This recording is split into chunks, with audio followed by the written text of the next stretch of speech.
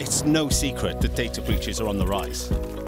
In fact, the average cost of a data breach to businesses is over £3 million.